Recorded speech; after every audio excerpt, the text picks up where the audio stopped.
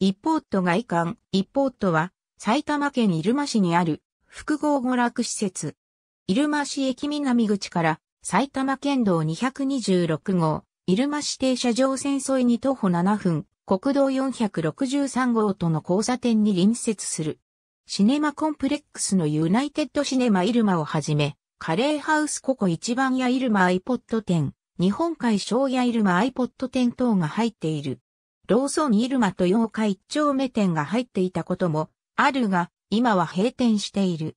かつてはゲームセンタータイトステーションイルマ店もあったが、2008年10月19日に閉店した。一方と、サイス、マルヒロ百貨店イルマ店のそれぞれの2階は、ペデストリアンデッキでつながっている。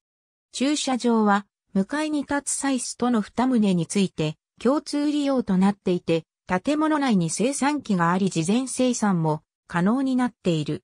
2009年春には1から2階フロアにパチンコスロット有楽ガーデングループのガーデンイルマがオープンしたが2011年9月閉店した。